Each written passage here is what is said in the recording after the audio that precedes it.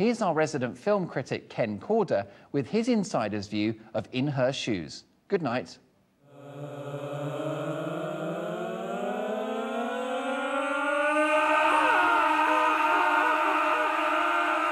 My name's Ken Korda. I was the lady expert on In Her Shoes.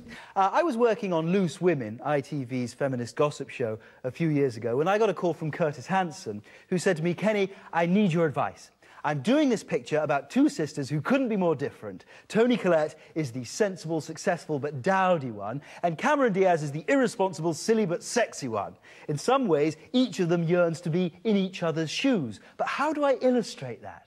So I said, OK, Toni Collette should have loads of wonderful pairs of shoes, which Cameron Diaz can't resist wearing. So you see, she's literally in her shoes. You know, even wear most of these.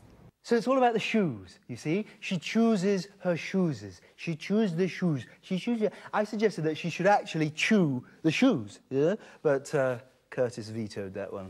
Why. Anyway, so Cameron Diaz is running around making Toni Collette's life a total misery by being all irresponsible and sexy. And so Toni snaps and throws her out of the flat. And it's at that point that...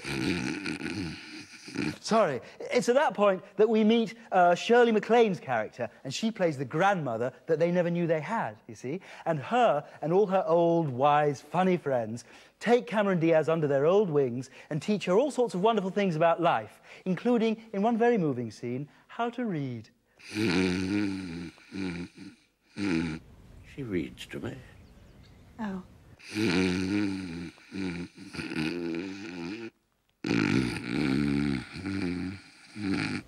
Here. I'm a little busy right now. Hmm. Oh, sorry. I get very annoyed when people describe this film as a chick flick, you know? I find that very demeaning. This film's for everybody, not just slightly drunk, lonely women who don't go to the cinema very often and don't want to see anything too taxing. It's a film about life. It's a film about love. It's a film about us.